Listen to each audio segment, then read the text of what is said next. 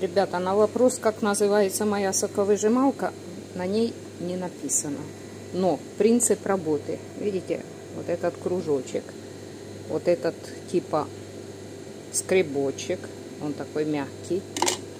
Теперь сюда вставляется вот эта вот сеточка. Я просто помню, у нас в детстве была соковыжималка. Она, конечно, была хороших, крупных размеров. Вот. И самое главное, что здесь вот этот вот, в э, мясорубке, видите? Она ее не, не простая центрифуга, которая ее крутит, а вот которая перемалывает и выдает... Тут магнитик, сейчас я одной рукой не могу. Так вот, из тех старых еще, ого-го, тех времен, у нас была большая соковыжималка. Тут у нее спрятан мотор, все. И вот такая крышка. И у нас она шлак выдавала так ручкой. Вжик-вжик, шлак вылетает, а в другую сторону сок. Тут не, не надо ничего вжикать, потому шлак выходит сам сюда с помощью вот этого оранжевого скребка, и сюда выходит сок. Причем так, из петрушки, из чего, из чего только он не выходит. Самое главное, что у нее вот этот вот хороший мотор, который все это, видите, вроде скорость небольшая, но оно перемалывает очень хорошо. У нас соковыжималка была на хорошей скорости и как бы, ну, это маленькая.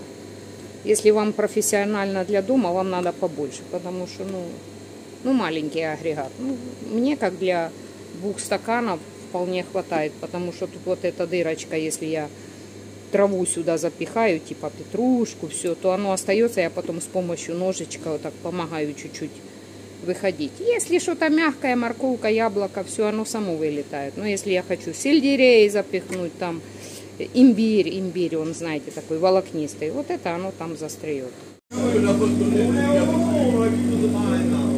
Слышите? Две слышали? Так, осталось одно мороженое, одна дырочка. Сзади все потенциальные женихи. Все водителя.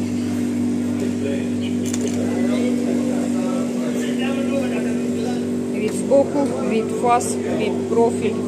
Славу не взяла кокосовое мороженое. Сейчас надо добавить еще чуток страчателлы.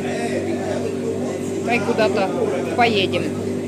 Мені кажеться, я в цій житті щось упустив. Чого це при живому шеф-поварі в хаті я должен цю пальцем пхану ковбасу готувати собі сам на вечерю. Ау! Хто із вас коли колбасу лінійкою міряв? А що, я такого хопа, хопа, хопа.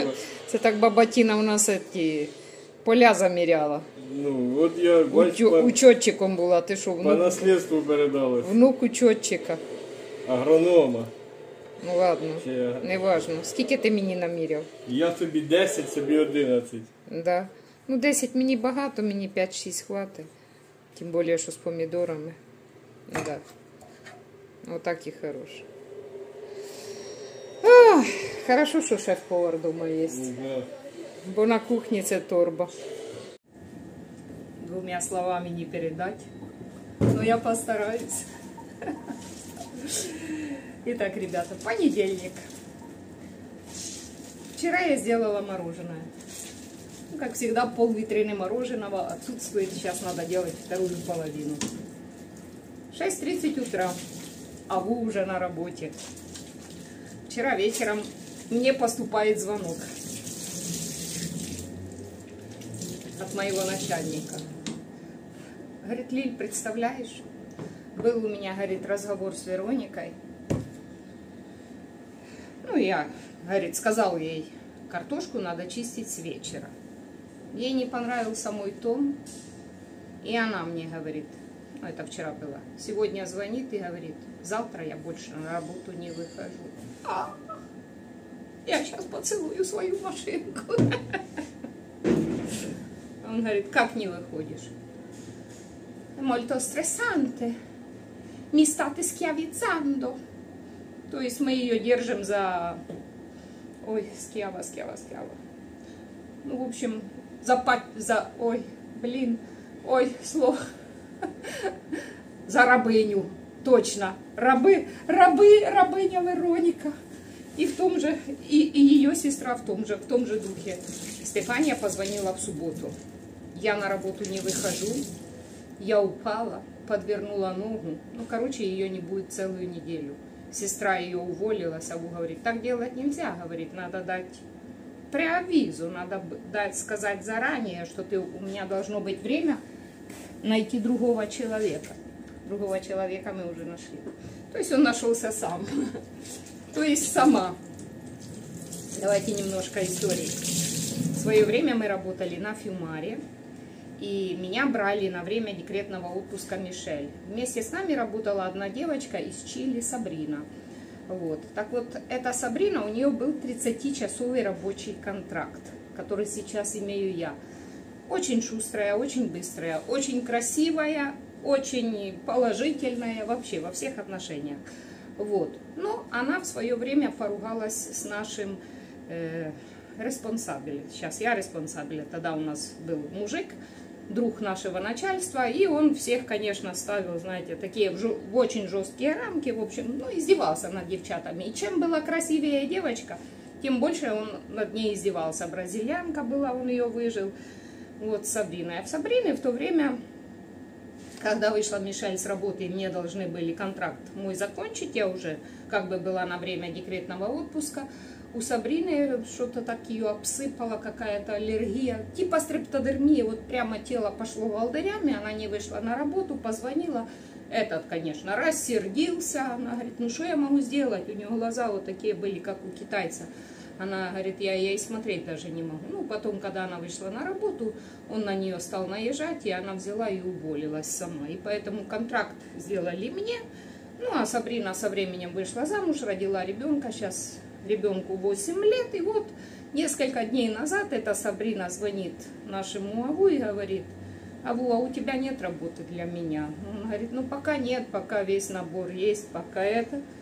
И вчера, так как наша Вероника сказала чао, сегодня на работу придет Сабрина, чему мы все несказанно рады. Ой, ну прям, ну бальзам на душу. Я говорю, а Стефанию как будем на место ставить? Он говорит, так это ж еще не все, мне же и сестрё... сестренка сказала, говорит, я со временем найду работу и тоже уволюсь. Было время поискать работу, когда, когда мы все остались без работы. Но ее почему-то нигде никто не брал. Мишель брали все. Она пыталась всунуть туда свою подружку. Ну, ее почему-то после двух дней пробы все откидывали. Поэтому я надеюсь, что она себе найдет работу. Но это, знаете, это надо хорошо у Бога попросить, чтобы она от нас ушла. Я говорю, ты лучше, говорю, 40-часовый, единственный человек, который с 40-часовым контрактом, это она, потому что она самый старый человек у нас в бригаде. Я говорю, ты бы лучше его Мишель сделал. Я говорю, я уже не прошу за себя, ладно.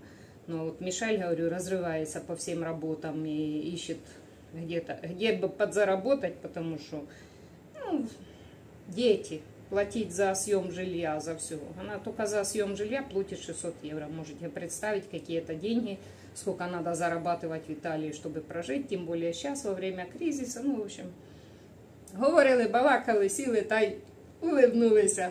В общем, вот так вот сегодня у нас начинается новый день. Я пошла делать мороженое вот вниз, а сейчас придет и Мишель. Ну, в общем, Мишель сейчас работает вообще непонятно по какому графику надо. И подружку заменить, и, и, за, и за себя поработать, и Аву помочь, и на кухне посуду помыть. Вот. В общем, Славуня сегодня опять в Ливорно. Ой, какое Ливорно? Вода Лигуры. Все уже, в моей голове все перепуталось. А виновата всему это ушедшая в никуда. Что нам сегодня шепчет погода? День будет жаркий. Что нам шепчут наши машинки? Стоят груженные, едут, грузятся. Ну, в общем, понедельник начался, ребята. Всем успешного дня. Мне еще и мороженое приехало. Сейчас его перебрать, разгрузить, заказать молоко. Малинку мы сделаем. Малинку мы сделаем. Клубничка ты где? В общем, все как всегда.